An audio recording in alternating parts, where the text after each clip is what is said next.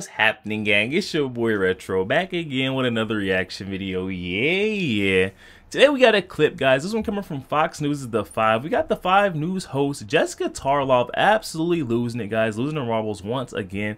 Then trying to blame it all on pregnancy brain, guys. We got Judge Jeanine keeping her honest as usual, you know, holding her to it. She's got some very bizarre statements that she makes about Joe Biden, alongside Joe Biden saying that Donald Trump is the biggest threat that he thinks for American citizens right now on the home front, guys. I'm excited to get to this clip, see exactly how they're making a fool of themselves now. So we'll get straight to the clip and I'll get my thoughts the back end of the video, guys. So definitely stick around to the end so you guys get my thoughts on the back end. And also, YouTube pushes this video out. Definitely stick around until the end, you guys. But yo, let's get straight into it. Before we even do that, though, make sure you guys hit that like button for me and also hit that subscribe button, guys. We're on the road to the truth. Hop aboard for the journey. Let's get into it, y'all.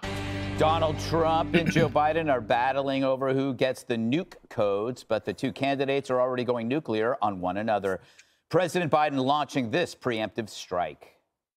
What, in your view, constitutes the primary threat to freedom and democracy at home? Donald Trump. Seriously. Donald Trump talk uses phrases like we're going to use eviscerate the Constitution. He's going to be a dictator on day one. I can't think of any other time in my lifetime in history that's occurred that you've had somebody who's had this kind of attitude. Oh, man.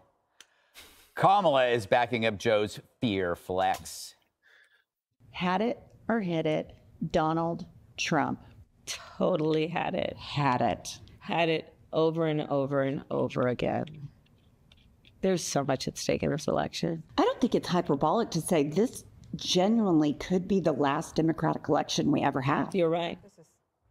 Did you just ask Kamala if she'd sleep with Trump? I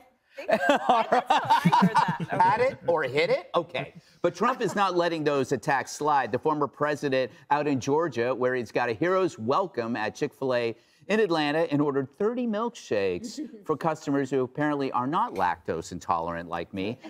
He unleashed the whole arsenal on the Biden regime. We are a nation in decline.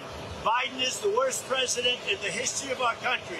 He's corrupt and he's incompetent can't put two sentences together, and I think we're going to have a tremendous victory. I predict that November 5th will go down as the most important day in the history of our country. He's done more damage than the 10 worst presidents in the history of our country. There has never been anybody that's damaged our country like crooked Joe Biden. Had it or hit it. Apparently, uh, Donald Trump is no Willie Brown. Dana. Um, so, do you think uh, they don't think it's hyperbolic uh, to say this genuinely could be the last Democratic election we ever have? Maybe it's me because uh, I was an English major, but isn't that the definition of hyperbolic? I, I, I think you're right. Actually, when you know what, the next time we play our D block game, yeah, coming up, folks, that's a deep tease. Uh, I will have you as my partner. Mm. Um, okay, so they have been talking about protecting democracy for a long time, right? And they've been saying all of this about Donald Trump. And I'm assuming that they did that, one, because they believe it, and also because it probably polls well for them, mm. for their mm-hmm. base, which they still need to lock up. But the problem is, right now, they've squeezed all the juice out of that lemon. Mm. And President Trump and Donald, uh, sorry, Donald Trump and Joe Biden are tied on yeah. who will protect democracy. So I don't know how much more they're going to be able to do on that one. The other point is you have this really weird dynamic with Biden where in the days leading up to the State of the Union, there were leaks from his administration that he was going to issue some executive orders on immigration in order to get the border under control. Then, the night before the State of the Union, they said, actually, no. Yeah. He's not doing that. And it's because the Republicans didn't pass the bill. And what did we find then four weeks later? Now we are back to he is likely, possibly, maybe going to do this executive order because he realizes how bad it is. And that's how you get to a 70% disapproval on the border. And my last point is uh, it's the economy, stupid. And when you have an inflation report like the one you had this morning, you will get to inflation, economy. Are you better off four year, than today than you were four years ago on the cost of your groceries, the cars, the gas, all of that? That's what this election is going to come down to. I think you really hit it. uh, Jesse, I'd love to go to some sound on tape. Please. Mm. And then I will come to you after that. Let's roll that, Gladys. We're examining whether or not I have that power. There's no there's no guarantee that I have that power uh, all by myself without legislation. And someone suggested I should just go ahead and try it.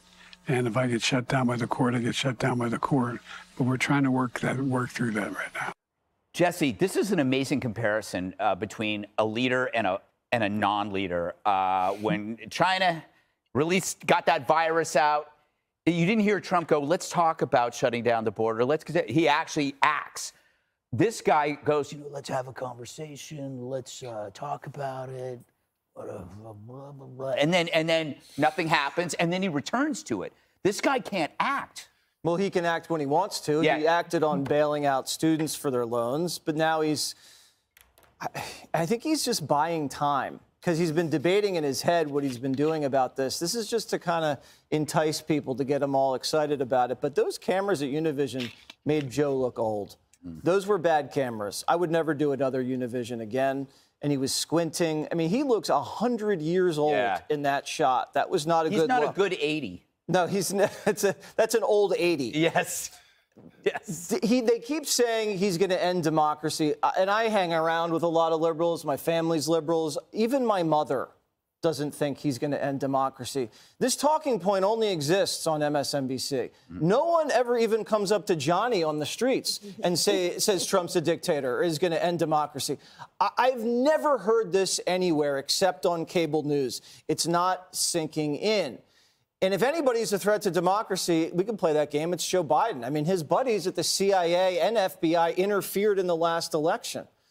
They're still blocking investigations into the Biden crimes.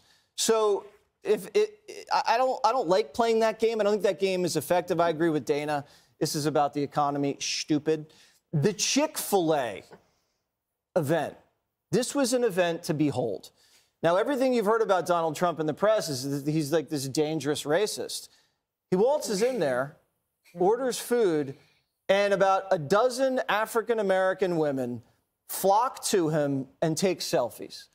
African American women, the most loyal voting bloc of the Democratic Party. He has them giggling. Uh, he has them lining up. Uh, he says, Mom, I'm famous now. It's it, it, all love in the Chick fil A. Now, if he can just do this, I would run the Chick fil A campaign. That's a great idea. I would just go to as many restaurants, grocery stores, malls as I could, and just have regular Americans swarm him, embrace him, and love him. And that is what is going to win him the election. like Tiffany. Mm. You know, Who's Tiffany? Joe wouldn't do that because he's chicken. Because he's chicken. Yes, you are what you eat.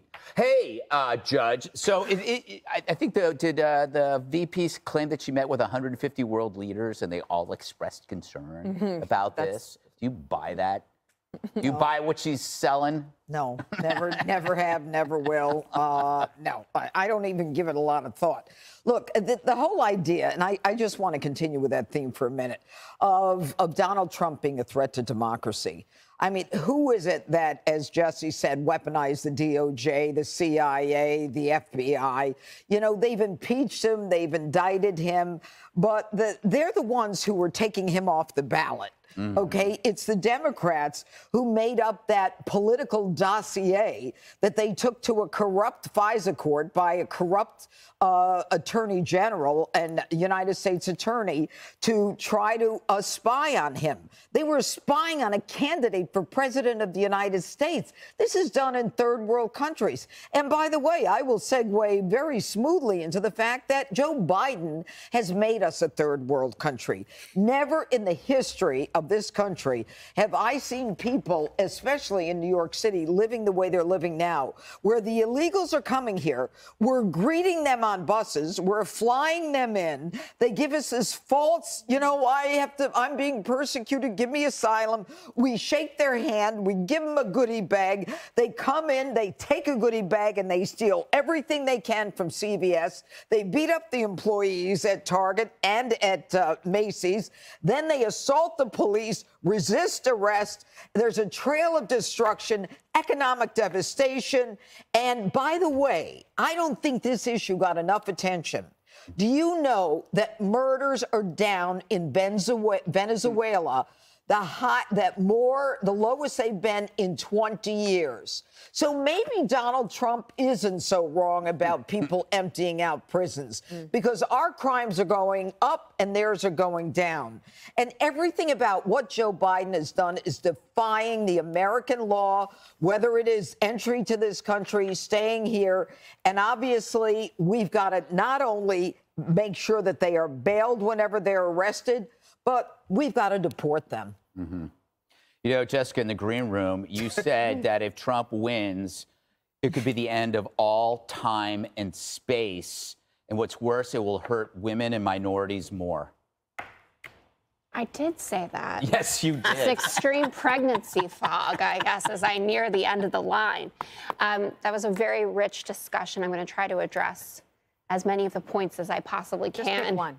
commercial break in about 30 seconds. No, no, no, no, no. Commercial break is when I am done with this. So the the threat to democracy point is not working, and all of the good pollsters have made that point very clear to the Biden administration. That actually the messaging that works is about the mundane stuff that people want to hear about. Lowering prescription drug prices and things like the debt and the deficit and preserving Medicare and Social Security.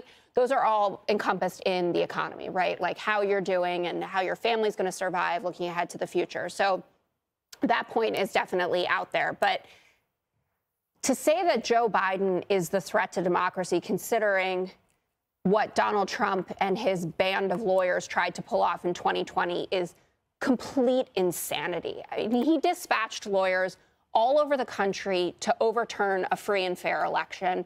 A lot of them have pled out to doing this. A lot of them are still to face trial. And he's doing his darndest to make sure that he doesn't have to show up in any of these courtrooms because he's deathly afraid of what's going to happen there. And as many of these January 6th He's not participant, afraid of anything. Oh, big man, not afraid, whatever. I know him. Okay, not. I'm sure you you do know him, and I don't know him, but I don't think that that man who doesn't want to even sleep in a hotel bed wants to go to jail. So don't refute what happened. We know about Sidney Powell. We know about John Eastman, who just got disbarred. The Rudy Giuliani, who's obviously not in very good position. How the mighty have fallen. But the point of this interview and doing it with Univision was about Latino support, right? And making sure that he shores that up. And he's down, he was up 29 points with Latinos the first year in office, and that edge is down to nine points. And that's due to the issues of inflation and crime.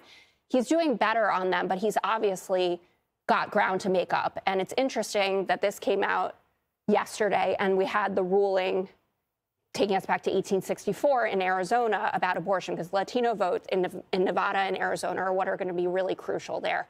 57% of Hispanics say abortion should be legal in all or most cases. And Donald Trump is out there defending his stance of you leave it to the states. He did say today, I won't support a federal abortion ban. He has said before that he supports a 15 or 16 week ban. So I, I don't know if he's going to be consistent with that.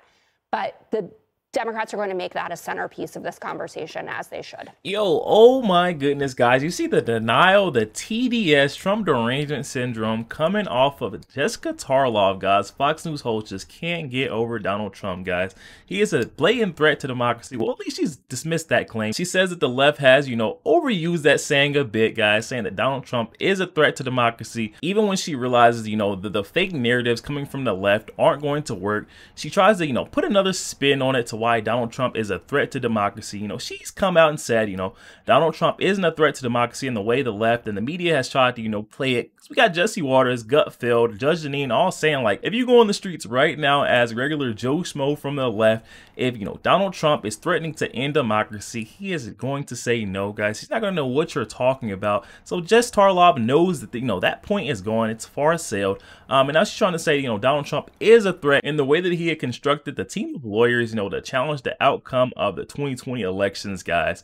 We all know that not to be true, though. There was no threat to democracy. This guy was simply, you know, expressing his free political speech, guys, by, you know, trying to ask what's going on there, how, you know, this just doesn't add up. And we've got Jess Tarlov trying to paint the picture. This is what the left wanted, guys. All these figures from the left, they have made up this threat to democracy angle that they've been taking on Donald Trump, guys. And that's the reason why they won't abandon it. We're seeing you know, time and time again. Every time we see Joe going out there, you know, getting getting an interview and hurting his campaign even further. You know, we've got the lamestream media waiting, you know, to, to put that blanket over the people, shield them from the truth and what's actually going on with Joe Biden, guys. Trying to sell this lie that, you know, Joe Biden is some superhero and Donald Trump is a supervillain, um, you know, going to end democracy for good, you know, going to take away your freedoms, which we all know not to be true. And that is exactly why we're seeing this panic from the left, guys. We're seeing, you know, these instances where Donald Trump is proven to be otherwise. He was so evil, we wouldn't see, you know, Chick-fil-A customers and, uh, you know, workers surrounding this guy, flocking to him. Anyone that I believe to be evil or a supervillain, guys, I'm not going to be trying to get a photo with them when they come to my job. I'm not going to be trying to get a photo with them when I run into them on the streets. I'm going to say it now, guys. This guy is the modern day hero for Americans, guys. Like I said, he's been standing in front of the bullets, you know, taking those shots for us. You know, they're not trying to get to Donald Trump, guys. This weaponized state is trying to get to us,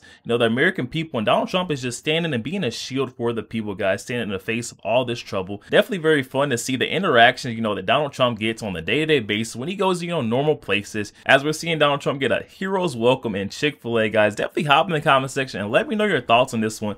Jess Tarlov can't get over the fact that her boss, Joe Biden, just isn't doing well. Then we're seeing Donald Trump, on the other hand, guys, a threat to democracy, walking into Chick-fil-A, you know, getting a hero's welcome, guys. Definitely hop in the comment section and let me know your thoughts on this one. Also, make sure you guys hit that share button. Share this out to as many Facebook friends as possible, guys. Share the truth. Also, make sure you guys hit that like button, guys. It doesn't cost a thing. Hit that like button for your boy. And also hit that subscribe button, guys. We're on the road to the truth. Hop aboard for the journey. I'll catch you guys on the next one. We.